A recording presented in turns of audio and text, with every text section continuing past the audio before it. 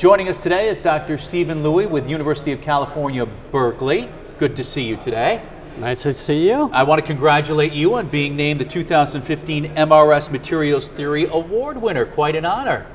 Well, thank you very much. Uh, you're uh, welcome. Now, your talk is entitled Understanding Excited State Phenomena in Quasi 2D Materials. Tell us some of the key points in your talk.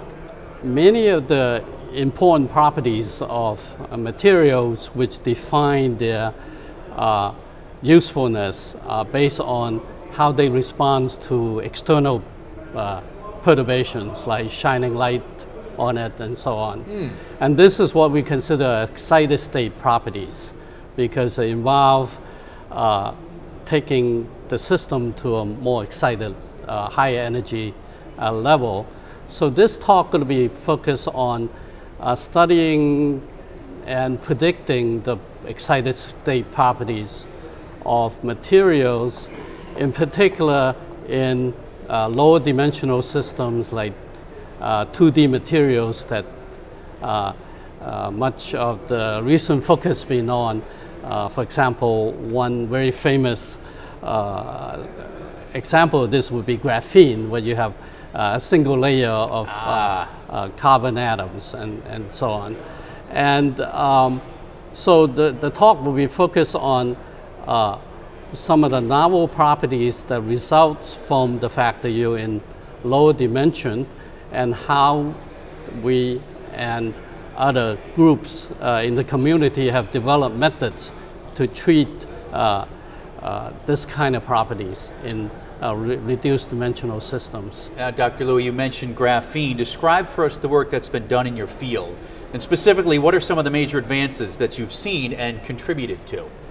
You know, many property of materials uh, uh depend on uh, the fact that uh, the electrons are all in the ground state. Mm. And basically material properties are determined by how the electrons interact with uh, the ions and interact with each other. And uh, for many properties like the structure and the bonding properties and so on are determined by atoms, uh, the electrons, or in the ground state. They, they're in the lowest energy state. Mm -hmm.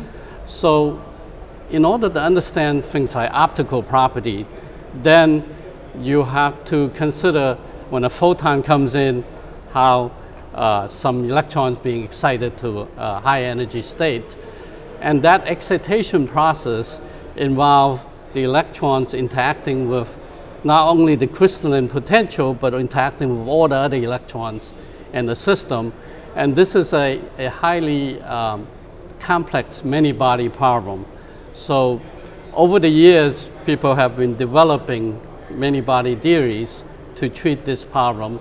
And my group has contributed in developing so-called first principle methods based on quantum theory and that would allow us to calculate, for example, the band gap of semiconductor uh, lifetime of hot electrons in, in materials uh, through calculational techniques that without making use of empirical parameters. Very good, Doctor. Congratulations again on being named the 2015 MRS Materials Theory Award winner. Dr. Steven Louie, University of California, Berkeley. Thanks for your time. Thank you very much.